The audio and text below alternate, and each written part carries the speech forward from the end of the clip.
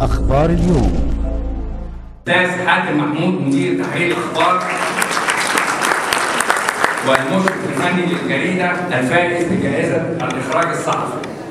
زميل دفعتي لكلية الإعلام عام 86 وهو صانع التطوير وصاحب التكوين الجديد لجريدة الأخبار الذي أعاد لجريدة الأخبار شبابها واحتفظ لمدرسة أخبار اليوم بمكانتها كرائدة للتطوير الصحفي.